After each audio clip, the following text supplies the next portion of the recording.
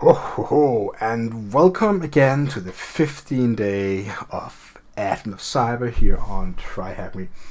We are more than halfway. We can smell, we can taste Christmas. The green trees are almost there, and the elves is about to win the war. So this is about file upload, basically. So, but it's also about how to write secure code. So you will learn what can go wrong if you have an insecure file upload, which is going to be the web page that you visit after starting the server on this particular IP address. If you read the text, you'll learn about different kind of things like um, how file uploads are created in HTML. You're going to learn about how to create a, a payload using something called MSS Venom. You will also learn about how mm, you can start Metasploit and stuff like that. But uh, you also learn about how you will write a secure small function in C Sharp that can upload a file. This is the different kind of snippets they talk about and we will combine it all in the end, down here, putting all together. So let's start answering the questions of this. Now, the first question and the three questions here down below can all be answered by reading the text. I definitely recommend you to do that. The web page name Santa Sidekick can be validated by just going to web page here and hovering the tab and you see the name Santa Sidekick number two. It's also stands right there, so it's many places, also it's there. The only thing we kinda need to do actively is try to get a remote shell on the server by uploading a payload we will generate and that's gonna be to this particular page here. This is the upload function that is insecure and you can upload upload basically anything. So what we're going to do now is go ahead and visit our trusty console right here. And we're going to go ahead and generate the payload we will upload. So that's the first task we are being asked to do. That is the payload right there. So let's take it and paste it into you know a text document and just see what we need to so the output would be cv username.exe, which is fine. The IP address of ours, now this is where I need to put something in that is yours. Localhost, that is your IP address, and localhost, that is the port you will listen for the incoming connection that will come from this payload you upload here. So what going to do now is go ahead to the um, here and type IP-A, small a, sorry, and then you can see tunnel is the IP address. So you can basically take the IP address, that is the hard code IP address for that, and put it in right there if you wish to do that. Um, or you can write half ton zero. The listening port is something you need to provide. So I say 4444. You're ready to take this line of code here and then put it in the window, terminal, there we go, and press enter. It will take a small amount of time depending on how fast your computer is it's going to generate a uh, small payload. Treat that as a small program named .exe for Windows, and you can see that if you type ls, type al, cv, dash, you can see the file is right there. It is ready to be executed. That is the file you will need to upload. Now, if you upload a file here on the web page, you'll notice that. just take any file basic right now to show you the point you will see that it, it, it, they say Santa's team will review your CV. So it basically means that they're gonna probably double click that file, you know, open it. And if that is an exe file, they will trigger the payload and make it connect to your machine. So on the task, we are asked to start this Metasploit um, MSF console that is a part of Metasploit. Now, we haven't really talked about Metasploit in Advent Cyber. That is a big framework for exploitation. But go ahead and start the uh, Metasploit, putting in the command. So, what you need to do, by the way, first is go ahead and, and alter the, um, the local port for to the uh, number right here. We chose 4444. That is what we chose when we generated the uh, payload and ton zero is fine so now you're gonna go ahead and put it in and start it up now if you didn't do that no harm done I'm gonna show you how to alter it afterwards starting on Metasploit can be a somewhat time consuming process depending on how fast your computer is it will maybe take all from 10 seconds to a few minutes. I've seen something like that in the area. Most of you guys should have to start it up really fast. But really, this is not starting the whole Metasploit program, it's just starting a reverse listener. So what we're going to do basically now is go ahead and as you can see the start reverse TCP handler, go to the um, web page right there and click browse, go to the Kali folder and say cv-username, take the file, upload it.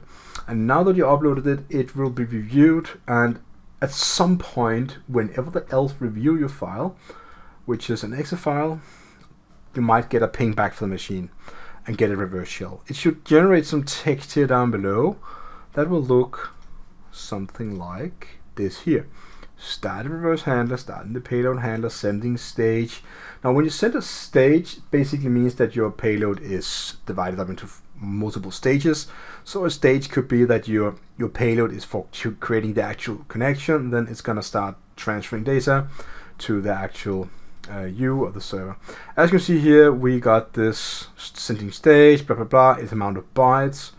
These amount of bytes were not a part of the original file here. As you can see, it is 7,178 bytes, but you sent 274,000, uh, 774,000 bytes.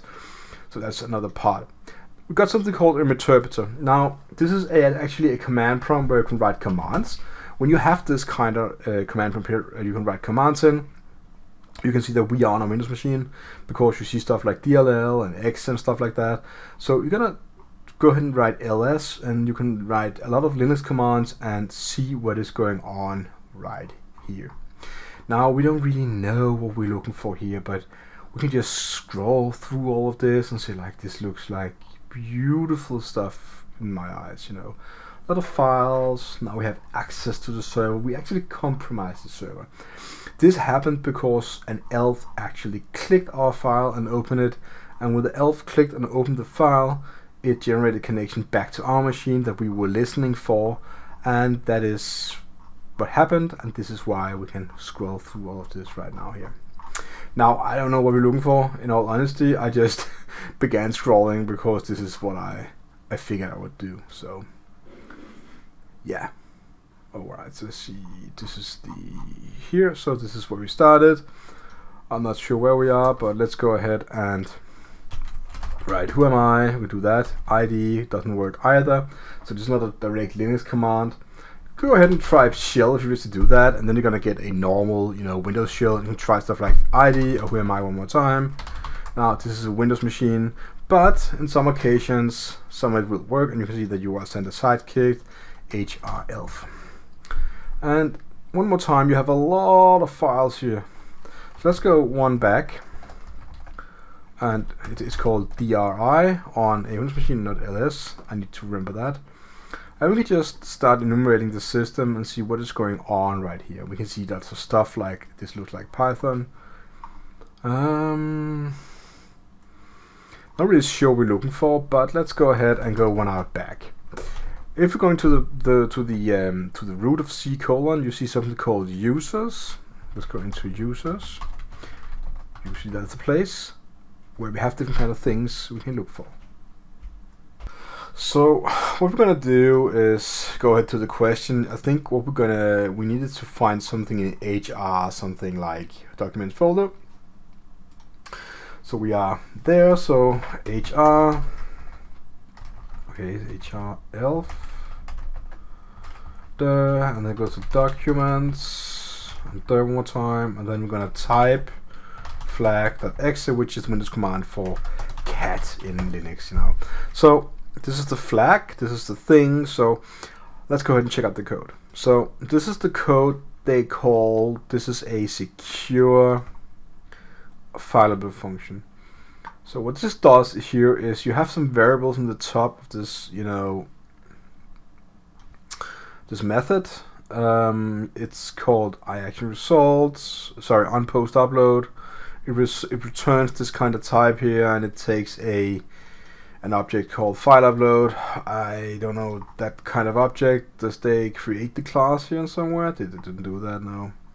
Anyways, this is probably just some basic code you can go ahead and download. Then it's gonna generate a GUID for the file, group ID, something like that.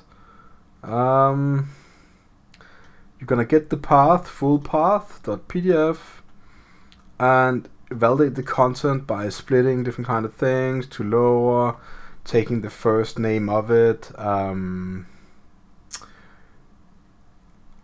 and what did I do more? Validate the content extension, and then validate the content size and stuff like that. And then normal stuff. All this is not considered to be secure. The secure part comes to where you scan the content for malware. So you're gonna scan an actual, you know, file. Now, what I would say is good practice for file upload is to. It depends a lot what it is you upload if it's a file used for avatar, for example, I would definitely recommend you to uh, redo the image in, in the computer's RAM if you can do that. It's it's it's it's a costly process, but it's gonna be worthwhile if it's a really interesting website. Also, make sure that you're not placing files. Um, in directories that you can reach directly without renaming them and stuff like that.